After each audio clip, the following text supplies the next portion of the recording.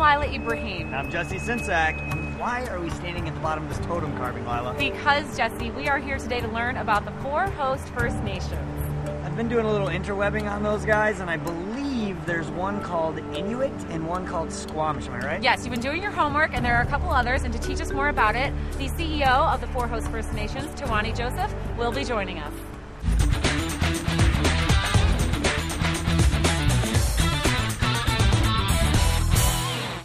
Hi, Tewanee. Thank you so much for joining us to tell us a little bit more about the host First Nations. Wow, I'm excited to be here. This is another milestone for us. We've invited all the Aboriginal people across Canada to come here. They're going to be celebrating from every region in Canada First Exciting. Nations, Inuit, and Metis. It's Really very cool. exciting. So there are a few uh, host First Nations. One of them being the Inuit. That was the oldest, I believe, the first. Can you tell us a little bit about the Inuit and also the others that started therefore after? Yeah, well, the games are taking place within uh, the Lilwat, Musqueam, Squamish, and Tsleil-Waututh, so we're both interior Salish and Coast Salish. We've invited the Inuit to be a part of our celebration, so they're coming down. There's a group representing all the four Inuit regions of the north, so they're bringing their culture down. You will see Inuit throat singing. You will see the best of their culture and the finest of the people that they have coming down. So for us, it's a very ancient culture. It's above the tree line, so if you've never been there before, which I had a chance to travel there last year for it, it's just an incredible part of the world.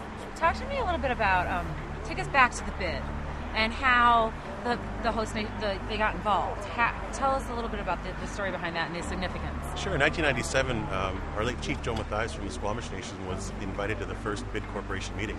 So for us, we were invited from the very beginning. And from there, it started to grow. They also invited the Lilwat people, uh, the Musqueam, and the tsleil So from there, I think this is a real model for how you can bring people together. And for us, we said we weren't just going to be beads and feathers. We wanted to be meaningful partnerships in the games, and I think this is a result of it. And it's, a, it's official host, right? Yeah, for the first time in Olympic history, um, Indigenous peoples are full partners in the game, so it's never happened before.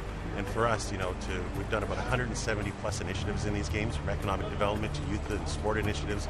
We also have 300 youth coming in from across the country, uh, First Nations, Inuit, and Métis. So this is a true celebration of what's going right in our culture.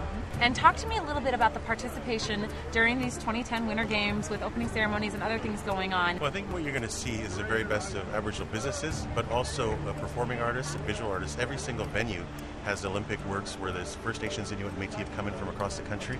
Over 100 artists have participated in that. At our Aboriginal Pavilion, you're going to see uh, performing artists such as Buffy St. Marie, Digging Roots, Murray Porter, the very finest uh, Indigenous performers. Also, uh, we have some performers from around the world, so people will get a good flavor from blues to rock and roll to jiggers to throat singers. You'll see the very best of traditional and contemporary cultures. Now, the host First Nations obviously have an amazing background and story. What is the background and story on this totem carving that we're standing in front of here? Yeah, what you have here is a is a representation of a bear, and then the next symbol that you see as we start to work our way up the pole is the faces of the four host First Nations that have come together. This is really this journey that we've been on, but also people of the world, and that's an orca that's represented there, and on the very top is a thunderbird. Uh, the thunderbird obviously is a mythical figure Yes. that actually in our culture is very, very significant. So it's looking down upon all of us in these games, and I think the important thing is this is a celebration of all cultures and a celebration of how we all came together. So this pole will mark that very important part in history.